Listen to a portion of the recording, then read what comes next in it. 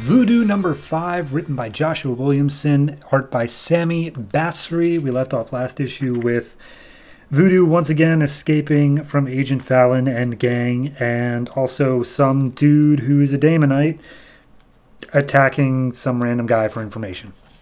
This issue picks up with a archaeological dig in the Midwest America couple guys just standing guard, not paying any attention. Voodoo comes in, slashes their throats, and just makes their way into the dig site. She monologues about like, oh, they may not have deserved death on their own, but humans as a whole, they're they're bad news.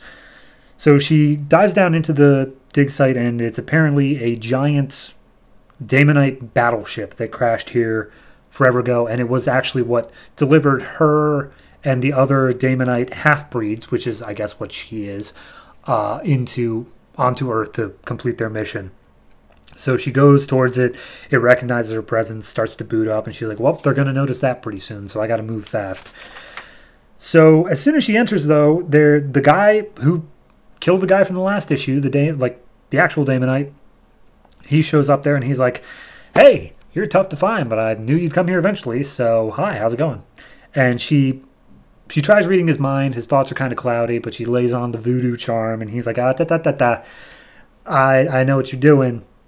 I'm one of you. I'm a Daemonite, so no.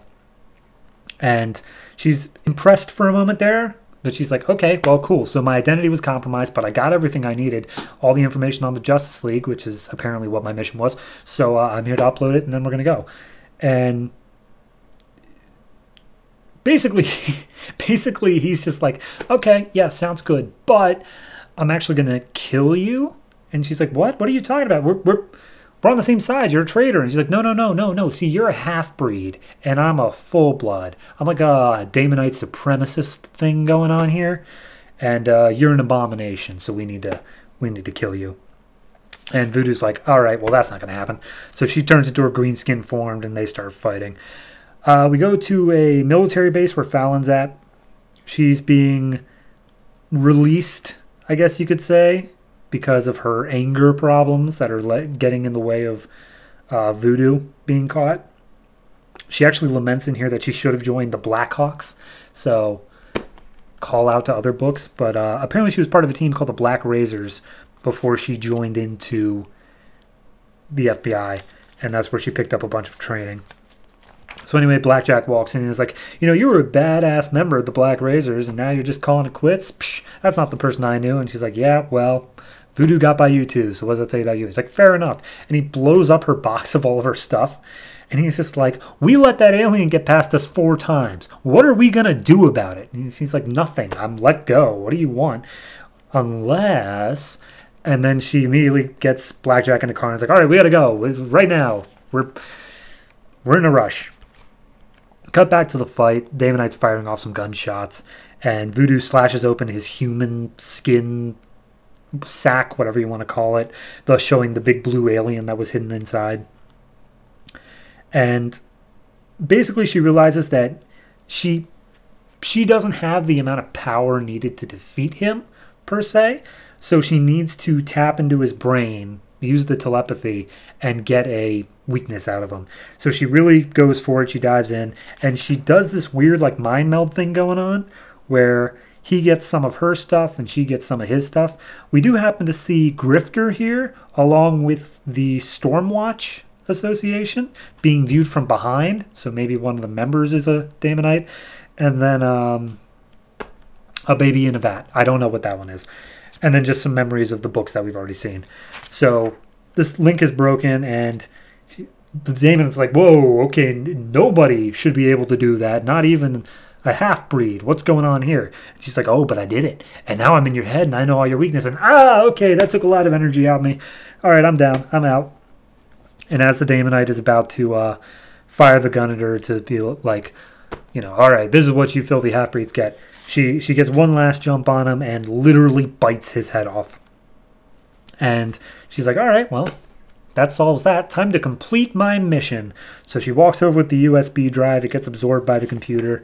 She copies over all the files for Mission Wonder Woman, Mission Superman, Mission Batman, Green Lantern, and Cyborg. But then she sees off to the side one that's Mission Voodoo, And she's like, well, hold on now. What's this? And she checks it out. Uh, meanwhile, we cut back to uh, Fallon and Blackjack running into this underground facility as fast as they can because they're in some sort of rush because the prisoner is scheduled for execution and they're hoping they can get there before then. And both of them come to the realization or whatever that Voodoo is actually a clone. And Fallon, like the military group, whatever, has the original or possibly one of the possibly the clone. I don't know how we're in place, but has a version of Voodoo trapped underground and is, I guess, scheduled for execution. So Fallon says that's how they knew about aliens in the first place. So I don't. That's that's a reveal. I didn't expect clones. That one caught me off guard. Gotta admit.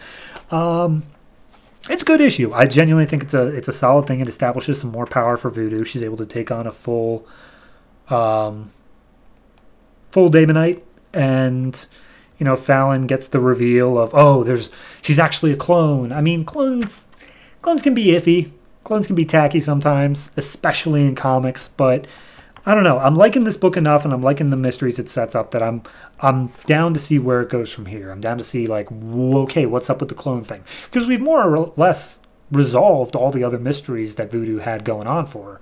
So now it's just a matter of, okay, now what's the clone thing about? And I'm down for it. So yeah, I'm gonna give this one a seven.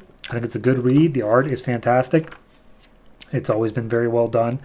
Um, yeah, no, not more to really say about it. Just continuing a already solid series that I frankly brushed under the rug when I first heard about it. So yeah, Voodoo, who to thunk.